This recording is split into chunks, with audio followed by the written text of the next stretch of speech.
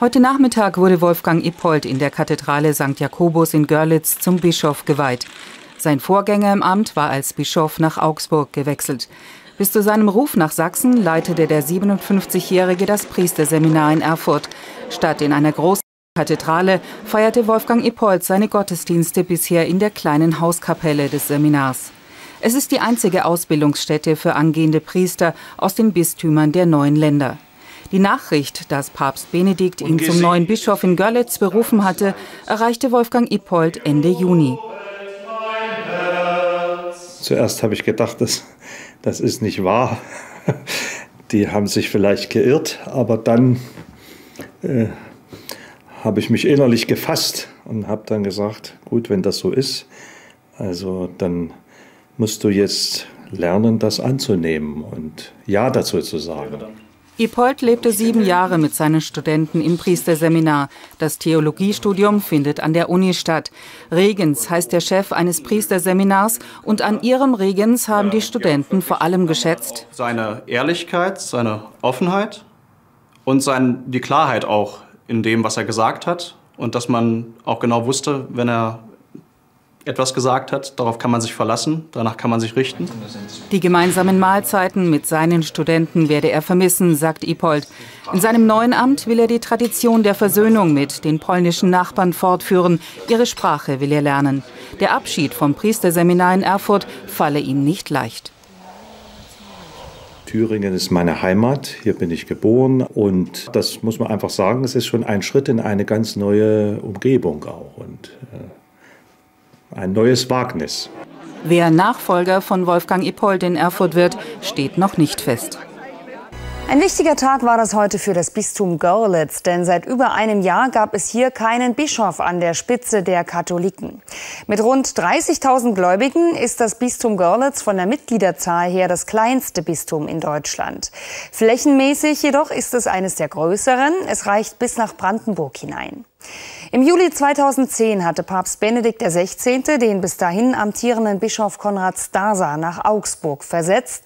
Heute nun sollte sein Nachfolger ins Amt eingeführt werden. Anja Köbel ist für uns in Görlitz. Anja, ist es denn vollbracht? Ja, Uta, es ist vollbracht. Seit reichlich zwei Stunden hat das Bistum Görlitz einen neuen Bischof. Und die Anspannung, die hier im Vorfeld zu spüren war, die ist inzwischen gewichen. Und zwar einer ausgelassenen Freude. Und man kann sogar sagen, zur Stunde den irdischen Genüssen. Denn der neue Bischof ist mit vielen seiner Gäste zu einem ganz entspannten Abendbrot in der Innenstadt.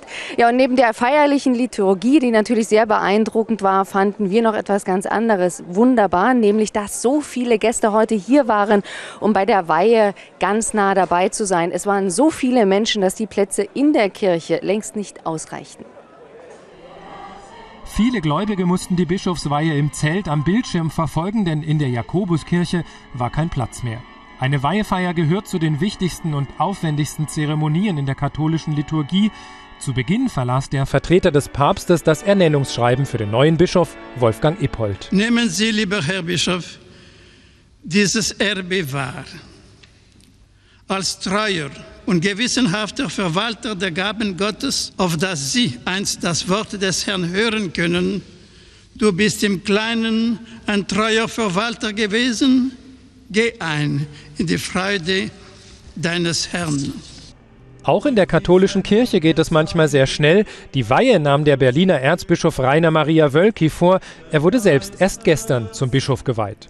Um kurz nach 16 Uhr erfolgte die eigentliche Weihe durch Handauflegen, eine der ältesten symbolischen Handlungen in der katholischen Kirche. Ring, Mitra und Bischofsstab sind die Insignien, mit denen das Amt des Bischofs für jedermann sichtbar wird. Insignien der Macht sollen es aber nicht sein, so der neue Bischof. Man muss immer auch den Bodenkontakt haben als Bischof. Ja? Bei so einem hohen Amt braucht man die Nähe auch zu den Menschen und ihren Fragen. Gratulationen kamen auch aus der Politik. Die Aufgaben sind vielfältig und äh, der Bischof hat ja nicht nur die eine Aufgabe, die seelsorgerische und äh, die Betreuung der Gläubigen, sondern Kirche ist ja heute auch Schule, Kindergarten, Altenpflegeheime, Jugendarbeit. Und wie ich eben gerade sagte, auch äh, als Brückenbauer zu den polnischen Nachbarn wird dieses Bistum so wie in der Vergangenheit auch in der Zukunft eine wichtige Rolle spielen. Als Brückenbauer gilt auch der neue Görlitzer Bischof, der gerne zu den Menschen geht. Heute kamen die Menschen vor allem. zu ihm. Den Namen Wolfgang Ippold kannten im Vorfeld wohl die wenigsten Menschen hier im Bistum Görlitz. Und das ist auch nicht verwunderlich, denn Bischof Ippold kommt ja aus Thüringen, hat dort die meiste Zeit gelebt und gearbeitet. Und man muss an dieser Stelle vielleicht auch einmal sagen, die Thüringer, die ließen ihn nur schweren Herzens ziehen, denn es heißt, Bischof Ippold sei ein richtig netter Kerl.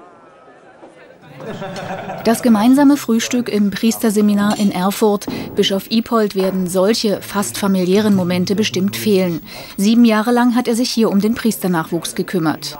Geboren wurde Wolfgang Ipold vor 57 Jahren in Gotha. Fast sein ganzes Leben hat er in Thüringen verbracht. In Erfurt studierte er Theologie. Hier wurde er auch zum Priester geweiht.